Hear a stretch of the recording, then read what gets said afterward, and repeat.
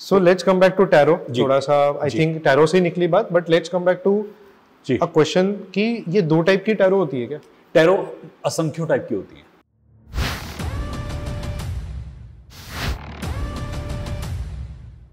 Okay okay. Tarot के अंदर जैसी जिसकी भावना वैसा उसका टैरो जिसने यूनिवर्स को जैसे देखा वैसे उसका टैरो बन गया। राजा रानी वाला भी टैरो है। जो विच विच क्राफ्ट के अंदर पाँच एलिमेंट का टैरो था वो भी टैरो होता था। महाकाली टैरो भी है। महाकाली? हाँ काली का टैरो भी है जिसमें काली के कई सारे रूप हैं। भगवत गीता टैरो भी है। ओके। ऐसे ऐसे टैरो मतलब उसमें भगवत गीता की स्टोरीज के फ़ोटोज़ है? वहाँ कृष्ण को अर्जुन जब समझ रहे हैं और अर्जुन को कृष्ण जब उपदेश दे रहे हैं वो भी है सीक्वेंस में। वाओ तो आपको गाइडेंस मिलती है श्लोक के माध्यम से और बहुत एक्यूरेट है। अभी रिसेंटली मैं ऋषिकेश में अपने कुछ हर साल स्टूडेंट्स को रिट्रीट पे लेके जाता हूँ। ओके मैं और मेरी वाइफ कोमल भारद्वाज हम दोनों जाते हैं रिट्रीट्स पे तो हम ट्रेन करते हैं उन्हें हीलिंग में। तो इस बार बच्चे टैरो भी लेके आए थे। कहते सर चलो लेट अस ओपन टैरो मैंने पहली बार भगवत गीता का टैरो ओपन किया था। बट इतना ब्यूटीफुल इतना करेक्ट प्रोडिक्शन निकल के आया कि कहने की बात नहीं थी। इवन मैंने पहली बार हाथ लगाया काली टैरो को इस बार अक्टूबर में दिसंबर में मेरे ख्याल से। दिसंबर में मैं पहली बार हाथ लगाया और एकदम एक्यूरेट प्रोडिक्शन तो मुझे बड़ा मज़ा आया कि ये टैरो कितना पावरफुल है। टैरो के अंदर आपका जैसा भाव होता है वैसे उसकी एनर्जी होती है। तो व्यूअर्स के लिए बता दूँगा कि पहले टैरो को हाथ लगाने से पहले अपना बैलेंस और ग्राउंडिंग कर लें। क्योंकि कई बार काली वाला जो टैरो है लोग उससे बहुत फैसिनेट होते हैं। बट कई बार लोगों ने जब काली टैरो ओपन करना शुरू करा तो उनको डरावनी चीज़ें दिखाई देनी शुरू हो गई। जैसे? कई बार रात को उठ उठ के बैठ रहे थे। बेचैनी हुआ घर में लगा कोई एनर्जी मूव कर रही है।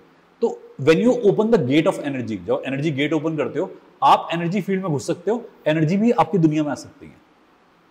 तो इस गेट को खोलते हो। Healer you also take those energies in you when you heal it happens but we have to be neutral we have to make our aura lock हम अपना ऑरा लॉक नहीं करेंगे तो हम किसी की हीलिंग नहीं कर सकते।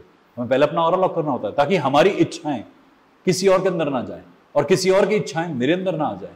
नहीं तो वो सम्मोहन हो जाएगा हिप्नोसिस कहते हैं उसे। Okay okay. या तो मैं उसे कर लूँगा अगर मैं बहुत तगड़ा हूँ उस, उस चीज़ को क्रिएट करने में नहीं तो वो कर लेगा। तो आपके पास में जो टैरो है ना आपका साइंस वो बहुत लॉजिक सिस्टम पे आधारित है। हम्म। हमारे पास में कई सारे ऐसे इंडिया के अंदर और भी चीज़ें हैं टैरो को रिजेंबल करते हैं। जैसे एक आता है मोक्ष पटकम।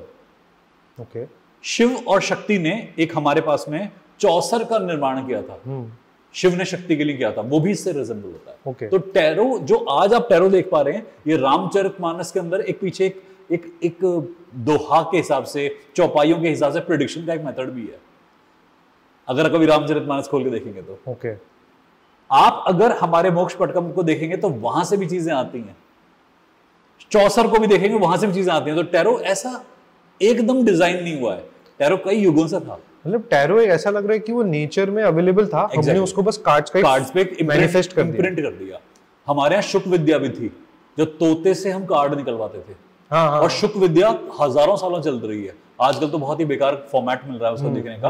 बट जब शुक विद्या थी अश्व विद्या थी श्वान विद्या थी इन विद्याओं से हम जानवरों से भी एनर्जी निकाल सकते थे।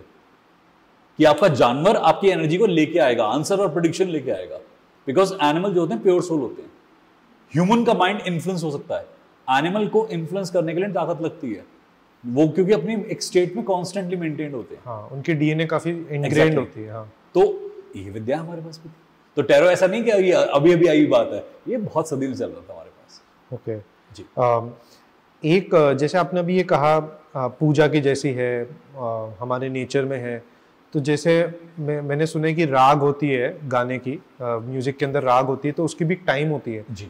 तो मेरा फिर यही नेचुरल सवाल आ रहा है कि ये टैरो खोलने का भी कोई टाइम होता है? पत्री देखने का टैरो खोलने का न्यूमरोलॉजी करने का मेरे हिसाब से टाइम फिक्स है कि सूर्यास्त के बाद हमें कभी टैरो नहीं ओपन करना चाहिए। अच्छा। ये जितनी भी विद्याएँ हैं ना ये सूर्य उदय के बाद करनी चाहिए सूर्यास्त के बाद इनको प्रैक्टिस नहीं करना चाहिए। और क्या होता है अगर नॉक्टर्नल एनर्जी एक्टिवेट हो जाती है। सन उसमें होता क्या है कि आपके अंदर तामसिक ऊर्जा बढ़ जाती है जब सूर्य नहीं है।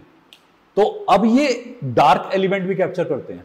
वो आपके डार्क एलिमेंट से एडहर हो जाता है एसोसिएट हो जाता है। तो मेरे हिसाब से जब आपका सूर्यास्त हो जाए तो टैरो की रीडिंग नहीं होनी चाहिए प्रोडिक्शन नहीं होनी चाहिए। ओके okay, किसी को पढ़ना है पढ़ सकता है बट ज़्यादा कनेक्शन एस्टेब्लिश ना करे।